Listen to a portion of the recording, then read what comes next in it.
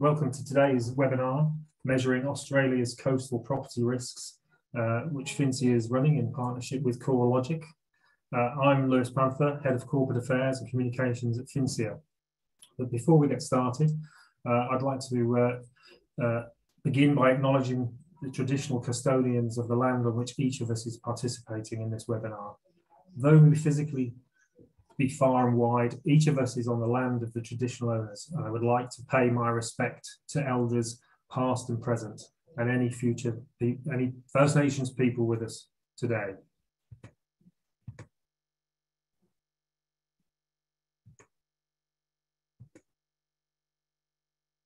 I'm pleased to introduce today's speaker, Dr. Pierre Wiart, Head of Consulting and Risk Management, Asia Pacific CoreLogic. Pierre is a senior global risk transfer director with over 20 years experience in all aspects of risk transactions, including reinsurance, underwriting, and enterprise risk management.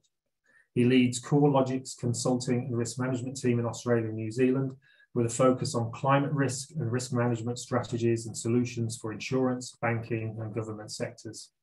He's a member of the Australian Institute of Company Directors, a senior associate of ANZIIF, the Australian and New Zealand Institute of Insurance and Finance and holds a PhD in physical geography.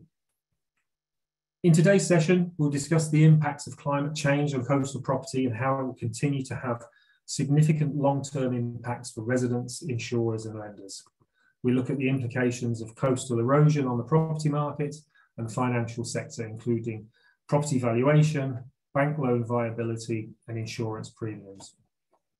And for the session, uh, the way we're going to run it is that Pierre will present for around 40 minutes. Following this, we'll open up to questions. To ask a question, please use the Q&A button at the bottom of the screen.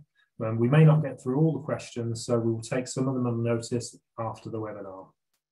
Uh, as we're still uh, uh having the tailwinds of the pandemic and we're in different locations, apologies if the Q&A is not as seamless as it might otherwise be. If one of us drops out, be patient. If that happens, we will do our best to get things and uh, reconnect. So without further delay, I will uh, now hand over to Pierre. Yeah, welcome and thank you. Thank you, uh, Lewis. Let me uh, start to share my screen.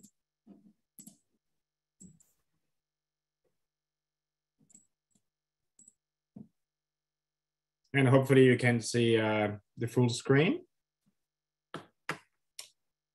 So yes, thank you, um, um, Lewis, and um, thank you everyone to uh, to join us today to talk about uh, coastal risks, uh, which is organized uh, with the help of uh, FINSIA. So thank you for doing so.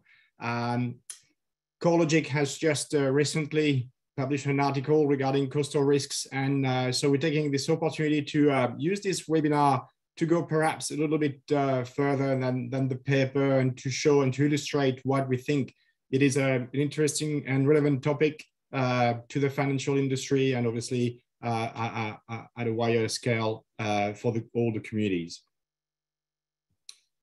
First, I'd like to uh, also to thank the uh, all the team that worked uh, on handling a lot of data, as you can imagine.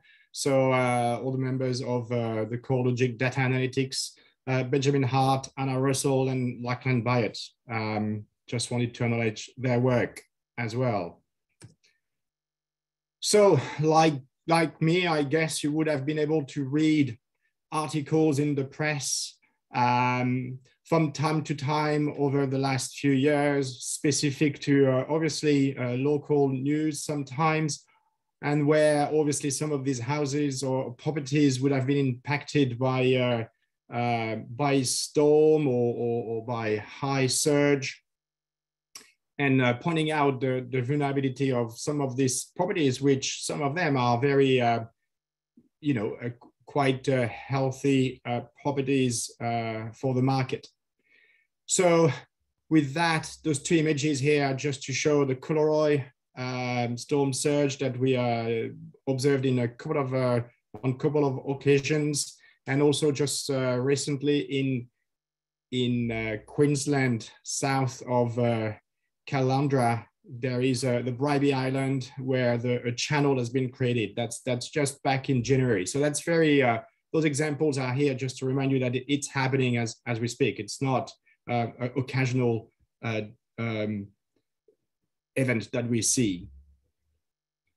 And in, in fact, we'll, we'll come back to Collaroy and uh, Island in, in a minute, but just to show the, uh, the extent of uh, the impact of uh, coastal erosion, we've collected a lot of uh, articles and, and press articles that relate uh, local uh, issues with, uh, with coastal risks, either by uh, some uh, properties being at risk or by some part of the, of the beach being removed, and it's and here that map is just just capturing all the locations that we uh, we noticed.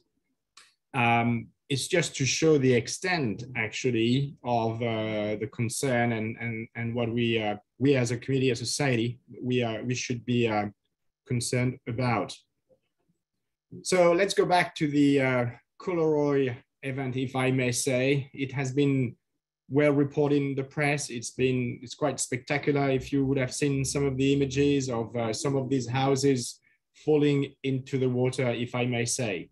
So uh, the first event started in, in June 2016 during a large windstorm and part of the beach has been completely taken away up to a distance of 50 meters. So it's something very significant that impacted Collaroy and uh, windstorms uh, and storm surge events, which are happening currently along the east coast of Australia due to the uh, east low uh, uh, meteorological conditions that, that we observe.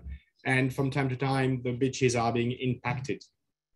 And again, it happened in, in February 2020 um, to the point that uh, in January 2022, they, um, they have a local wall, I mean, a a wall funded by by private funds uh, was built. Uh, and that solution, uh, uh which might be the best, by the way, we, uh, is also raising some eyebrows in the rest of the communities. So these, these phenomenon are obviously impacting everyone uh, locally. Looking now at another example at Caloundra, as I said, off Caloundra, there is a, a, small sandbar, as there are so many uh, all around Australia. And um, following uh, in December 2020, there was already some uh, a lot of uh, uh, during a, a, storm, a lot of large waves that that uh, overtopped, if I may say, the island and created a, a small channel. And then with the remnant of Cyclone Seth in January, this little breach, if I may say, started to open widely, creating a, a brand new channel and, and, cutting the island in, in two. Um, and we'll come back to that in later on in this presentation. But these examples are just here to illustrate how dynamic actually uh, the uh, coastline is around Australia. And, uh, and it's, it's happening as in front of us as, as um, as we can see.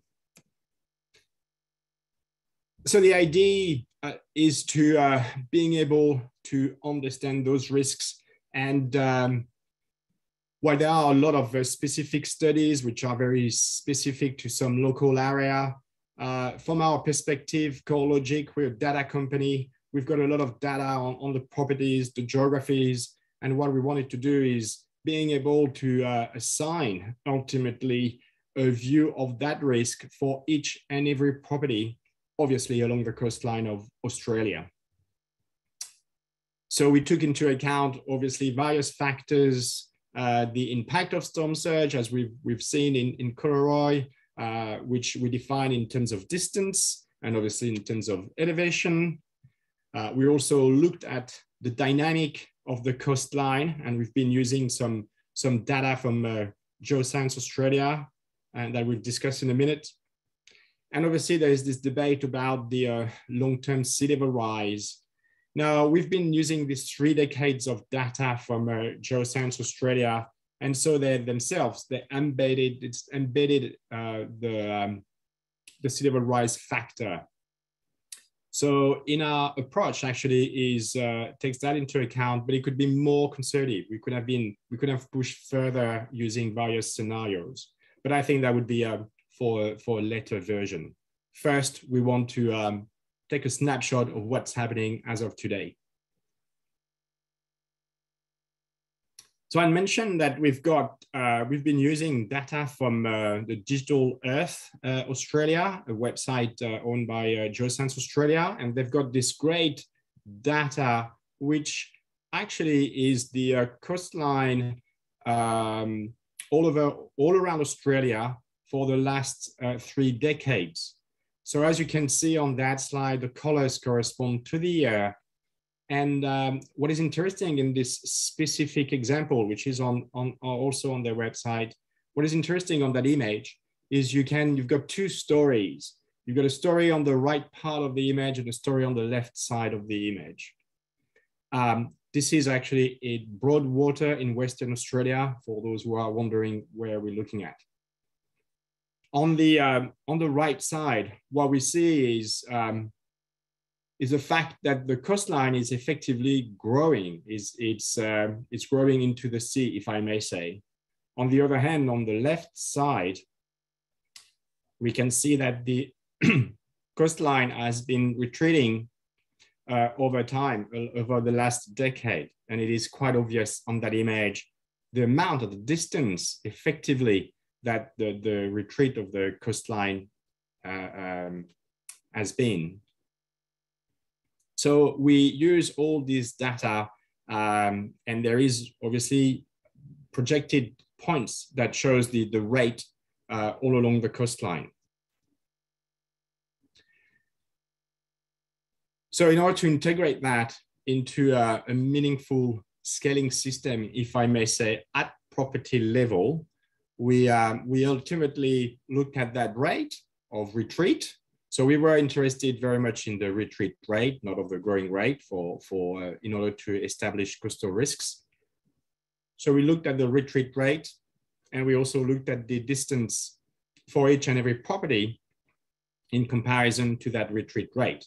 And that's how we come up with, if you want, an erosion rate, which is uh, expressed in years, because that's that's what it's left in, in, in the equation, if I may say, is just the amount of time for property to be impacted by that retreat. Surely then there would be um, some differences here and there all around the coastline. There might be some man-made defenses. Uh, so to be clear, study do not take all these points into account, but just a way to have a methodology.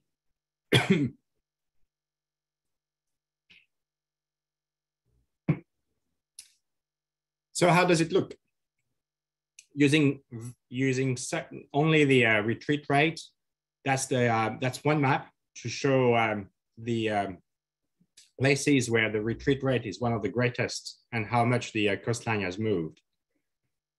so places like East Mackay are, are, are, in fact very, um, we can see the shore retreating very rapidly up to seven meter per year. Now, it doesn't mean that there's a straight correlation with the risk because there may be a large distance between the retreat rate and, and the shore. So we had to take that into account as well.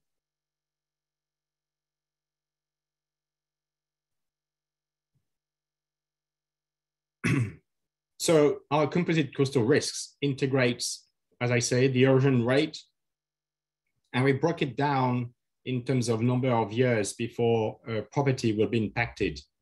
And we uh, decided that 30 years is a very high risk.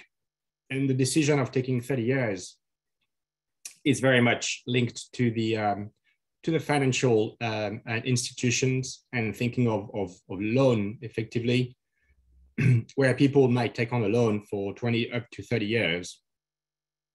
And so in this, uh, if your house can be impacted by coastal risks uh, within 30 years, then therefore your asset is at very high risk indeed. And that's how we define the bands.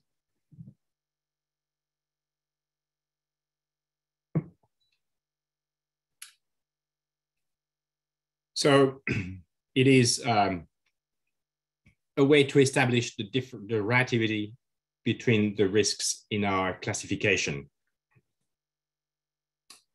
it can be uh, changed, it can be amended, but the point is to be able to have a, a, a consistent method throughout all the properties around Australia.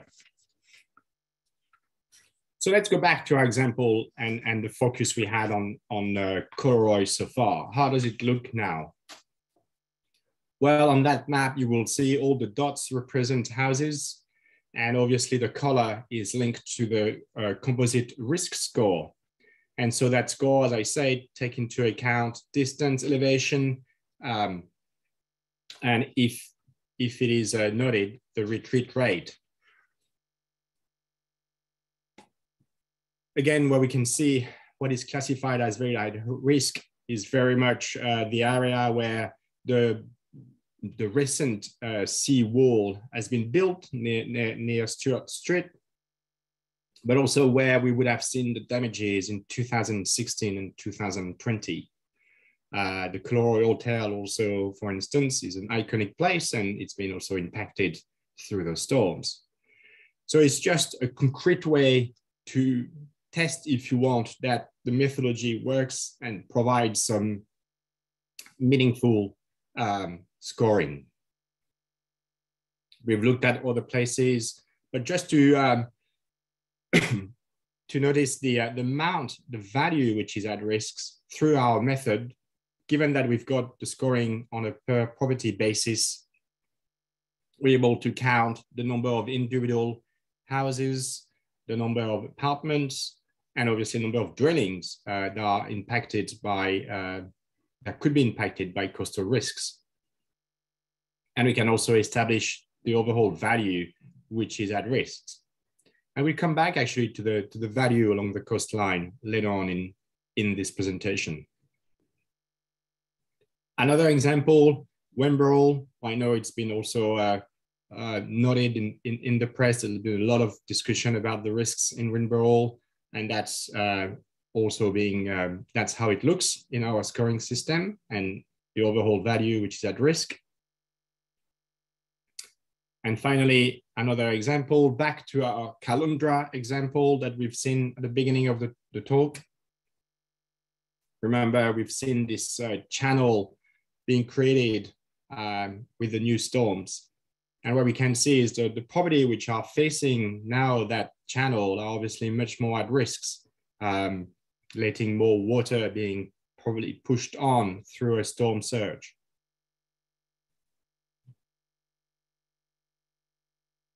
So we'll we'll make a little, a little pause right now. We've got a, a poll, and um, we'll be interested to know from you, as a lender, perhaps, what is your biggest concern with growing coastal risks? Um, is it implementing appropriate hardship measures? is it managing risk exposures and impacted assets? Well, you want to be proactive at supporting and helping your customers, of course and obviously addressing climate change impact for your company might be also your, your choice. So I will give you a few minutes to uh, fill that poll.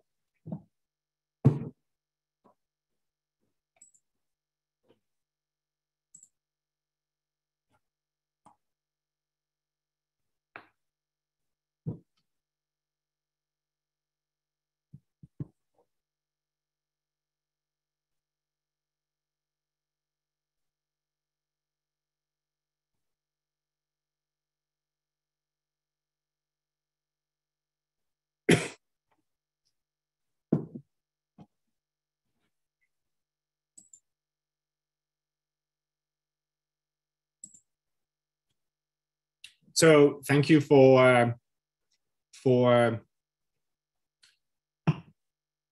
for looking at the at the poll. So uh, the, the highest concern uh, from from this audience is very much managing risk exposure impacted assets. Indeed, that's uh, that's that's that's the goal of of our data is being able to report that on a on a for each and every property around Australia but obviously being able to uh, support customers is, is relevant uh, and it's inscribed into the overall climate change discussion. Very good. Thank you for, for uh, providing your feedback. Now let's uh, let's carry on a little bit the, the discussion here. So we were we were able to um, look at uh, the places which we which are of concern, and one of the uh, aspect also that needs to be noted in terms of wealth is um, is obviously the closer you are to not obviously, but what we noticed in in throughout obviously Australia is the closer you are to the beach. Um, often the property value is increasing as well. So it's a bit of a, a, a double whammy, if I may say, equation where the, the, closer you are, the more at risk you are, but also the highest, the higher the value is at risk. And just to put things in uh, perspective here, here this example is for Mermaid Beach. We thought it was a nice example, a clean example to show you the correlation between uh, the price of a, of a standard three bedroom house and its distance relative to the shore.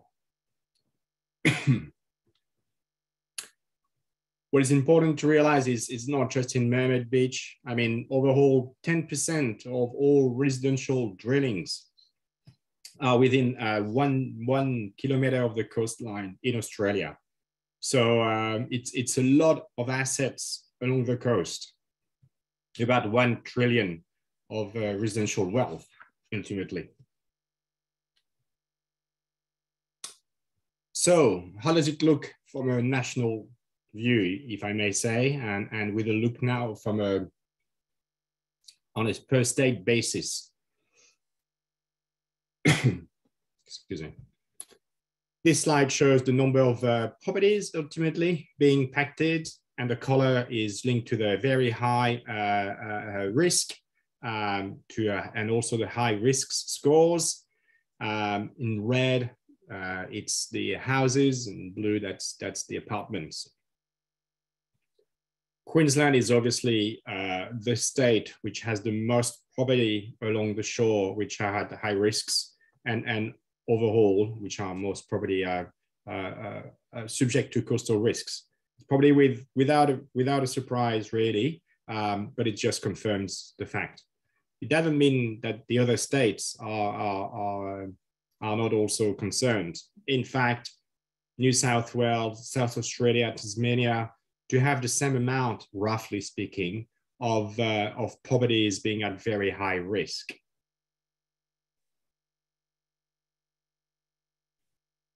Another view, perhaps, it's to look at some of, um, to classify, if you want, the number of, uh, uh, from a suburb perspective. Um, we ranked here the suburbs with the most property at risk. We can see that the top two ones are in Queensland, in, on the Gold Coast uh, area. And then we've got a, a few on, on the Moreton Bay um, area uh, interestingly, Port Lincoln in um, in South Australia is also uh, is also there. Uh, we've got also Mindarie, which is the northern part of Perth, uh, which rank as well. So I won't go through the, the list and one by one, but it's just to say they are they are dispatched all around uh, the country. There are interesting ones like Townsville and, and Manly, where the, the risks are very high, but they concern uh, mainly, I would say, apartments, uh, buildings. Mm. And on the other side, places like Lauderdale in Tasmania, where we do have only only uh, single houses, um, which are very high risk ultimately. So there's a in this data, there's a lot, a lot to learn and, and a lot to pick and that, that's why ultimately it's a whole database where you need to effectively look on a, on a per property basis. In terms of uh, value at risk, here is another, another graph. And here we've, um, we've represented all the suburbs with most um, building being at risk, ranked with uh, the high risk which is this red bars, if you want. the first thing is uh, that we can see is that Paradise Point on the Gold Coast, which was topping our previous table, is again there. And, uh, and the overall value at risk is just absolutely way beyond anything else on that table. We will come back to that in a second to understand a bit better why. Meanwhile, we've got we've got uh, places from again uh, all around Australia, with uh, places in in uh, in Port Phillip Bay like Kunspindle and Brighton. Uh, we've got a uh, Rimbrol in New South Wales along with Collaroy. No surprise here, if I may say. Um, but we do see uh, all, all, these different places in the various states. Queensland, New South Wales, Victoria, topping up this uh, this this this type of um, the amount of wealth being at risk. So why did the Paradise Point in uh, on the Gold Coast uh, come up in our in our data analysis? Well, we, we looked at it a bit more uh, obviously closely. Um, and uh, we've got some satellite images to show how that, that little island uh, is, is clearly a man-made place um, out of some of uh, sandbars that were there a long time ago. So it's all brand new. Uh, you know, here's an image of 1973 and there was hardly anything, 1989, and, and then so on and that's how obviously we, we picked it up for obviously um, all the criteria of our selections do ring a bell here. If you look on the uh, on the left, I mean, the image is all this property, they all have access to the water. It's obviously designed for it, uh, but that means obviously all of these properties are, are at greater risks because they are straight into the into the water. Um, and so the risk is great. And there wouldn't be too much for, uh, for this property to, um, if there is a storm uh, and if the water is pushed toward them to be impacted. Also, interestingly, on that place is the uh, staggering amount of each and every property. Uh, they are high, high, high uh, hand uh, property, which are all very expensive and so much that it is one of the highest uh, concentration of wealth all around Australia.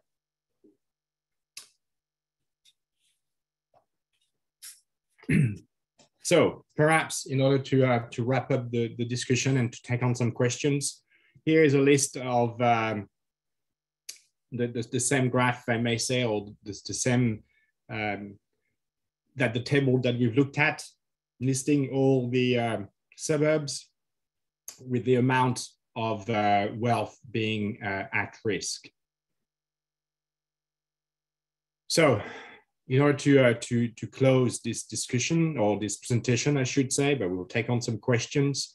Um, those risk score, really, they are, there's a real use um, from, a, from a lender's perspective and especially from the credit risks aspect, uh, it can start to, uh, to be used readily um, uh, in in um, in the credit risk equation to see what what could be uh, impacted by coastal risks and um, if there might be a, a risk on the long-term basis. It would help property valuation. It would also um, it could also help uh, in terms of education to have a discussion with the owner and to see how they want to uh, to uh, address that problem. Uh, it won't happen overnight. We, we know that, or it could, in, in, on, on, on some very rare occasions, but otherwise it's, it's a long, long trend uh, that needs to be addressed. Um, so there are many applications also in the insurance sector uh, to, uh, to be able to pinpoint what, what needs to be addressed on the long-term basis. So with that, I mean, I, I noticed that there are quite a few questions, so uh, I'm aware of the time. I think it's uh, perhaps the right time to take on some questions. Um, Thank you. Thank you, Pierre. Um, it's having read uh, your white paper uh, earlier this week, um, watching the webinar, really brought it live. I think it um, shows it's uh, it, it's great to have that kind of personal connection. And, and as you can see, we are getting a, a, fair few questions coming through. So um, I'll um, I'll I'll pick through them uh, and uh, I've had a look already and see if there are any uh, that, that uh, are along a theme. But um, the, the first one was uh, from uh, Beth Patterson, who wanted to ask about the um, the map data set you're using. If you're able to talk about that. Yeah, absolutely. I mean, it's reference. You you, you can go to the DEA website. It's dea.ga.gov.au. Um, straightforward. Okay. Um, and, and that was following on from that. Another sort of uh, methodology methodology questions is um, how, if you do, assess the vulnerability of different building types. So no, this methodology is very much to address and to assess the risks, the potential risks. Um, it's true that vulnerability, vulnerability can be taken into account in terms of obviously how the building is, is made and, and, and uh, uh, we appreciate that often uh, if you close very, if you build very closely to the sea, you might have been thinking of, of, a, of, a, of a solid or, or uh, a sturdy way uh, to build your house. So um, no, this methodology is, is more to understand the risks on the same basis. Okay. I think, that, I, I think that's uh, sure that's answered the question of that member. Um, Peter Hooker has asked um, about second order effects. Um, he's talked about Pittwater road in Collaroy um, and asked about the, the, whether the route of the road needs to change in parts. Uh, he says, even if my property is coded green on the west side of the road, the amenity on, is on the other side and may still be threatened. Is that something that is um, um, taken into account in, in the scorecards? So we, we, we take into account, uh, as I said, some of the parameters. Uh, there are some subtlety that we do appreciate um, locally. Um, and so uh, perhaps in regards to the locations of amenities or, or um, specific buildings, we do um, we we have not taken that into account at that stage. It, it could be uh, it could be potentially uh, be implemented on on future uh, versions. Because this is, I mean, this is the first time that this has actually been done, isn't it? This uh, to this degree that um, you, you've looked at it as, as a as a as a as an overall uh, coastal risk for Australia. Yes, that's right. Okay. Um, a question that uh, had, had, cropped up uh, from a couple of areas is um, uh, whether it's um, storm surges and their frequency um, that's more important than the gradual erosion. Have you been able? Is there, is there a differentiation, or do you put, put more weight on one or the other? So so no, we don't have a, a real weight. What we, uh, but what we've done is to acknowledge that depending on where you are along the coastline, the problem is different, and and that's why we really wanted to grasp here in this uh, uh, scoring. We, we didn't want to have uh, to address just storm surge or just the erosion. We just wanted to grab everything, and so that score, which in itself is just a, is just a a scaling uh, uh, a scale, if you want, to, to evaluate the, the, the, the risk, uh, is here as to raise a flag to show that there is a concern regarding coastal risks. And locally, there might it might be from either the, the, the, erosion itself or, or the proximity to storm surge effects. I'll, I'll, follow that one then from uh, a question from David Thomas, who asks um, if this is this uh, score is being applied by lenders in credit risk scoring and insurers. Um, is this happening yet? So it has just been released. Uh, so uh, any interest so far? Well, hopefully we'll. Um, uh, I'm sure the webinar will uh, encourage some people. Um, one of the things I was interested in, and um, I don't think there was as many pictures in, in the report, but when you you showed, um, you know, it brings it home to you the the, the seawall at Collaroy, um, and, and we know of these things happening in other parts of the world. Um, are they effective in mitigating this kind of risk? Is that something you can comment on?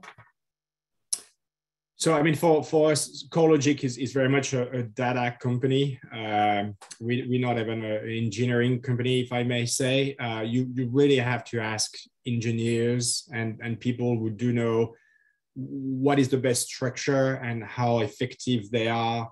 Um, so it would be a bit uh, it's it's a bit too far fetched for us to be able to comment really at that okay. level. We are getting it's a testimony to uh, how uh, uh, how interested people are. With I, I, don't think I've seen as many questions in in a webinar that we've had in the last so many years. So um, um, from Nicholas Harris, um, he says, "Do you believe uh, a research exercise could be applied for flooding risk in New South Wales and Southeast Queensland?" I guess he's referring to more inland um, uh, events that we're again seeing that are, uh, are right in front of us. Right. So flooding itself is obviously a, a different, uh, a little bit different from coastal risks. Uh, flood can be uh, generated by um, in different ways. The main common one is is rivers that, that do swallow and and uh, breach their their bed and obviously flood the area. So it's river flooding. Uh, it's one of the main common flood. Um, but there could be also what we call flash flood, which is uh, a downpour of a lot of water unexpectedly in one, one specific location.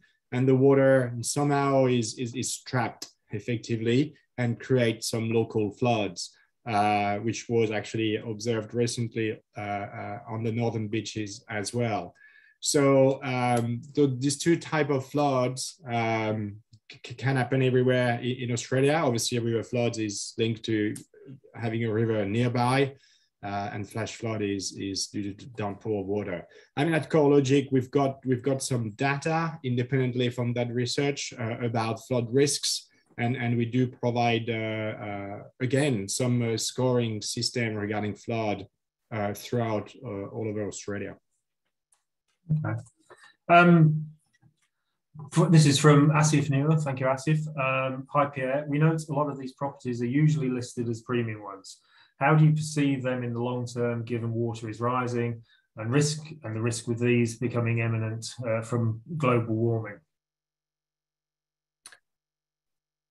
So indeed, that that's one of the uh, of, of one of these questions that um, a lot of people would like to be able to, to answer. It's it's uh, it will take a bit of time. Obviously, uh, global warming is is a is a slow process, uh, but it's it's happening. I mean, uh, we we are.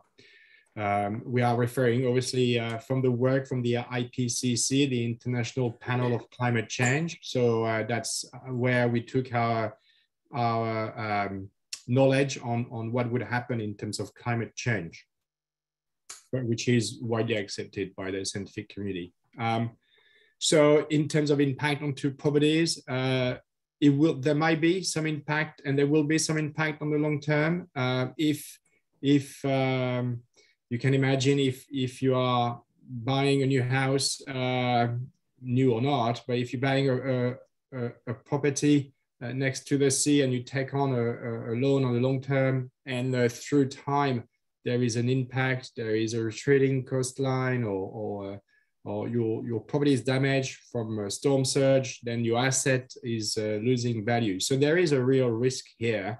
And I think um, it needs to be taken into account and, um, and to be discussed and, and see um, and recognized, I guess, ultimately by the communities. And uh, let's follow that um, with uh, Honora Corbett's uh, asking uh, again, uh, um, how vulnerable are the stone seawalls in Sydney Harbour to rising sea level and or storm surges? Is that something that um, you could comment on?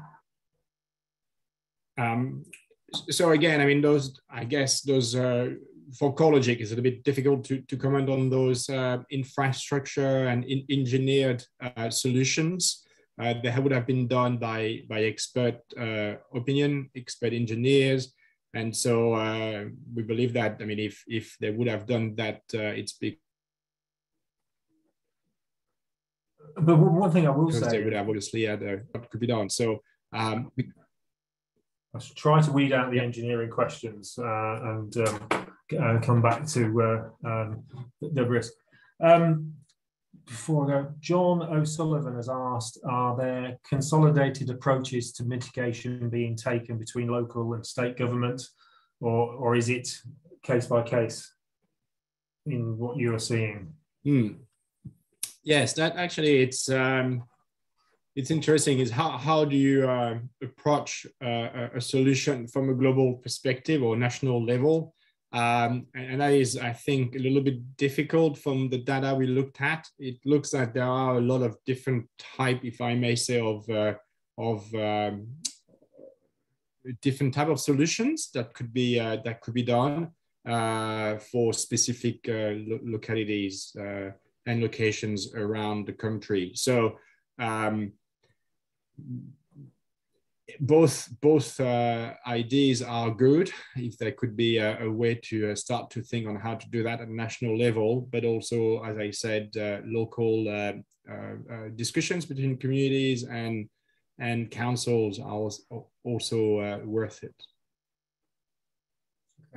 Um, from david tribe um, from public policy perspective he says how do we stop the problems of these properties being socialised? Uh, what intervention is possible to discourage developments in such locations?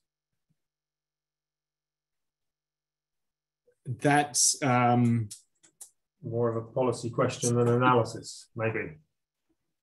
Yes, it is. It is a, a policy question. Um, how to put that in place. Um, is it the case you're giving them the data and it's for them to use? Should I perhaps say at this stage? Because it brings me on to another question from James, who asks about a particular place that he lives at um, uh, uh that you featured, and, uh, and he asks you, uh, should he sell? So um, I think um, the, the answer is, um, you know, um, and now we're still getting um, many, many more questions. There's one I wanted to ask that uh, came and, and has it's actually gone past me, and, and it, it's about do you take do you um, um, do you differentiate between um, uh, inland islands and the the external coastal erosion that you you know where you pointed out up at um, uh, behind behind Surfers Paradise Yes, so we, we tried to, uh, obviously there would be some, some effects. Uh, so what we noticed in our methodology is with, uh, when you've got a, say, a sandbar, an island or some kind of uh, protection, it seems, uh, obviously there is no, no real impact of uh, what we call coastal retreat because it has been fairly static um, um, over the years, but it doesn't mean that there is no risks because ultimately we we as a society tend to build properties right right right at the water level. And uh, and we know that it, they don't need much to be uh, overtopped by water. Um, so around the um, uh, Brisbane what we I mean the whole Gold Coast and, and Sunshine Coast what we can comment on is there are as we know uh, not very often but it could happen that we do have tropical cyclones and those uh, storms, very powerful storms, they would be able to push a lot of water uh, above and beyond uh, what we uh, what would uh, uh, sandbars and, and also top over properties, small walls. So um, you could imagine a scenario where a storm surge would created by a tropical cyclone would create a lot of damages to those properties. And, and a question um, sort of um, along those lines and, and, about the development of property.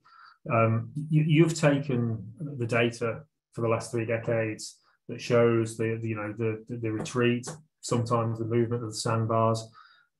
Have you also looked at whether there's been an increase in uh, property being built closer to um, the shoreline over that period? Obviously, there's been um, uh, you know, massive increases in property prices in certain areas over the, the past few years. Uh, and as as we know, you know, most Australians like to be near the water. Um, you know, as it, as it, I don't want to be punny here, become a perfect storm between uh, what's happening in the natural world and, and what's happening um, you know, uh, in, in the community? So yeah, the, the um, it's a good question, and the answer is is yes, absolutely. There would have been uh, more development along the coastline uh, in the last few decades. So there's a lot of factors, all you know, um, uh, converging, if I may say, to the fact that it has increased coastal risks. Um, we've been building more properties. We've been building more expensive properties. We've been putting um, we, we as a society have been getting closer, if you want, to the risk. There is no doubt about it. And that's uh, um, a question, and well, that's something to be taken into account by the, the people watching this um, um, when they judge the, the risk uh, scorecards they'll be coming out with. Um, we have a question here from an anonymous attendee asking about analysis in future, including low-lying areas near any bodies of water within the reach of capital cities. Uh, it says uh, Sydney, for example, Harboursides, Riversides, Perth, su suburbs, and any lake examples, Joondalup and Wembley. Um, do we know, I mean, in, in, your experiences, you know, in risk, um, is there greater attention to this being, you know, being undertaken at the moment? So um, we haven't been too much um, inland, and by inland, what we define inland is is quite remote from the coast. Um, so I can see also some some questions regarding inside the the, the, various harbors. Could be could be uh, in Sydney, it could be elsewhere. So we, we, we don't go we, we didn't go too far inland. I mean, we, we as I said, the study restricted to uh, uh, to the first few hundred uh, meters. So um, so so it's not a it, might one might say that it's not uh, complete in terms of getting right into uh, some of the river uh, uh estuaries and, and, so on so uh, uh, there might be also some risks there um, I was interested to see when you showed the uh, imagery around the, the retreat, but um, um, a, lot, a, short, a short distance away, there was the coastal expansion, which um, you said you didn't take into consideration, obviously because it was expanding. But it, it, it's, you know, we um, shifting sands in, in those kind of low lying areas. Is, is, that something that we are seeing? Um, is it important to um, to look at what, what is happening there as well? Sure. I mean, if if it is a low lying uh, area very close to the water, uh, that that should ring a bell. Uh, uh, it doesn't mean that the the frequency of the risk is very high, but perhaps um, it should be it should be assessed. I'm thinking of uh, of this suburb in in in Tasmania, south of Hobart in uh, Lauderdale, it's a smaller isthmus uh, like we've got along the coastline, like perhaps like in Manly. And there is no doubt that you know you you are close to the water on on on two sides uh, effectively. So uh, it doesn't need too much of a of a storm of a water being pushed to obviously being impacted. From that, I think this follows on quite well uh, that, that Mark Cooter has asked. Um, and he asks about if there's a graph of the time and sea surge levels um, and, and, what, and what impact that has. He, he look, says, for example, eight meter surge could be fine in 22, uh, 2022, but by 2032, uh, you may need to have a, a, a 10 meter differential. Um, are they the kind of thing, are you, I may be asking more engineering questions here, but is that something that you've uh, looked into or thought about uh, when it comes to the risks that we're facing. Yeah, absolutely. So we've been thinking of that. It's a very good point, actually. It's true that uh, what we see as of today might not be the picture in, in 30 years. Um, and to do that, that means setting up some uh, assumptions or, or uh, uh um, you know, uh, assuming that sea level has risen by X amount um, in, in centimeters, um, and that plus the combination of a higher surge would obviously increase ultimately uh, the, the height that um, that the water could impact. So um, we've been thinking about it. At this point, for this first uh, version, we've been just using the data as we as, as we know it, as we got it. Uh, perhaps it's it's a good point for a future version is to have uh, some scenarios and projections of what could happen it also does make me wonder. Um, I know that you've, you know, the, the, the timelines that you looked at, you know, and, and the start off for the very high risk is the 30 years, and it's, it's tied in with a, a, a you know, a mortgage a timeline. Uh, but it, it does strike me that, and, and from the interactions we've had over the last few years, and the interest in and problems coming out of, of climate change and, uh, and, and attendant coastal erosion the, the, the, these timelines are shrinking. Um, does, is that something that is there at front of mind for, for you and CoreLogic as you look at this? And you know, could we could that shrink to, to, to a much shorter period of time? So for all the questions um, linked to future climates, really, we we um, we just um, take that from the um, IPCC and, and the various scenarios that are discussed also in the finance world, uh, which are recommended, recommended through the TCFD, uh, but also the regulators are advising.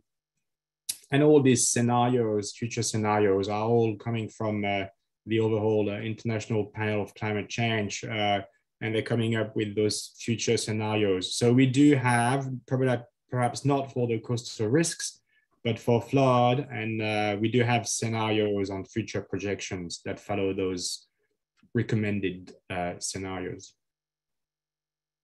Okay. Um, where are we with the questions around? Uh, the other the, the question I, wa I wanted to ask as well, I think, if I may, is um, uh, this kind of, have you seen this research uh, around the world? Um, you know, I, I, think of low-lying areas, um, the Netherlands specifically, not far from where I spent most of my life, and, and um, have, have there been any lessons um, and, and uh, you know, or any impetus to do this from uh, places where we, we can actually learn some things? Yeah, it's a, it's a very good uh, question. We uh, we looked at uh, what happened internationally and and uh, with the with the understanding of uh, what can we learn, what has been learned elsewhere. So uh, absolutely, the Netherlands are on the forefront of this problem. Um, other places around the world, I'm thinking of, of Miami, where the water is. if there's a bit of rain in Miami, you would you would see the water coming out of the street, as there's no way for for the water to to escape. It is quite it's it's quite uh, interesting to see. Um, and uh, they, we also tried to look at some impact of the of what we call climate change on, on the property market.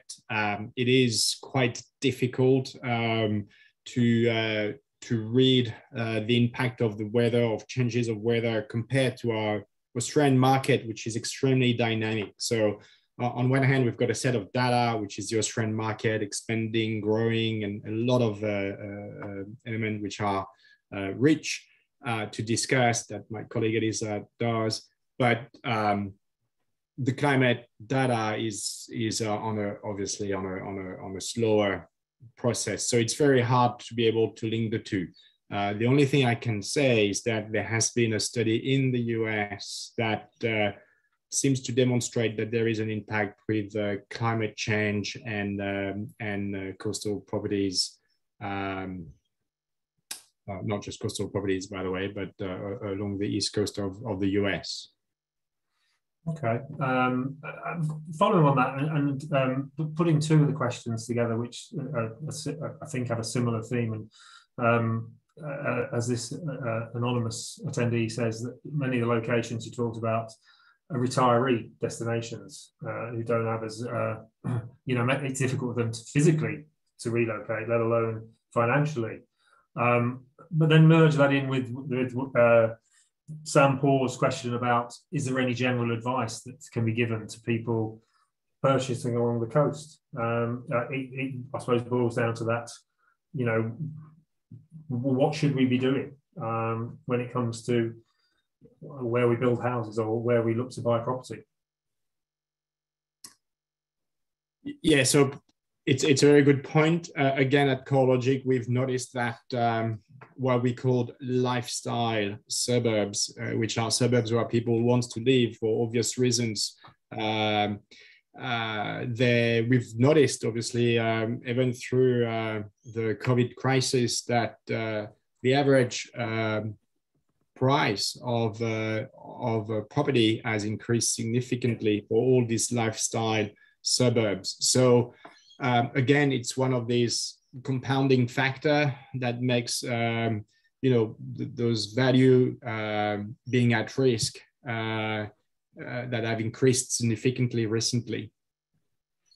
What to do about it? Uh, I'm well. Again, it's a bit of outside the, uh, our scope. Um, uh, again, it's I think something for the community and the society to, to think about but uh, the fact that you've made the data available, I think, is um, if people didn't know it, it of brings it home to them. Um, I think we're sort of be, getting round to, to, to, winding up now. And again, I'll say, uh, Pierre, thank you very much. I think the, the webinar has been brilliant, and a testimony to that has been the number of questions. Um, and, and, I, you know, we will get round to um, all of them and, and answer them personally um, uh, to the members who have taken the time out this lunchtime to, to, take part in the webinar. So thank you to them as well. Um, you know, going forward, I I wonder if we, um, you know, we'll be. We, I don't think. Well, we'll have to wait for 30 years to um, have a have an update on on this, and, I, and, I'm, and I'm sure that we'd we'd be like to um, to get more from you and from CoreLogic, uh, you know, coming up in in uh, in other webinars, which we have with FINSIA. Um, the next of which is um, uh, next Tuesday when we have uh, a, a, really uh, important eminent cast talking about uh, uh, principles versus prescriptive legisl- re- regulation. Um, that's a, a, morning session. If anybody want, hasn't um, signed up for that and does want to, I would recommend that as well. But um, while I'm still on with Pierre, um, is there anything else that you would like to um, finish up on that we haven't missed? It's been uh, we've covered so much. Um, I will say that the, uh, slides will be available, and um, um and we will get round to answering any questions that um, uh, we haven't done so far. Um, so yeah, over to you, Pierre, for one final word, if that if you wanted to. No, thank you. I mean, uh, we, we, we would like to uh, to thank uh, FINSIA for the invitation, and uh, I'm glad there was uh, a lot of interest in that topic. So it was a pleasure for uh, for us to really participate at that at that webinar. Brilliant. Again, thank you, and um, we we look forward to many more. Thank you. Thank you. Thank you.